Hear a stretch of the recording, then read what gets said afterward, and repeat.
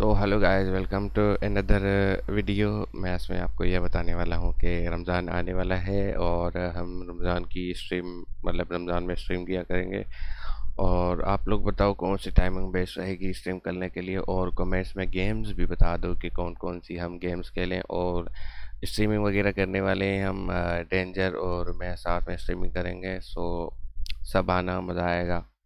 तो यही बताना था, ये कोई अपडेट था। सो मिलता है नेक्स्ट रमज़ान की लाइव स्ट्रीम में तब तक के लिए बाय अल्लाह हाफिज़।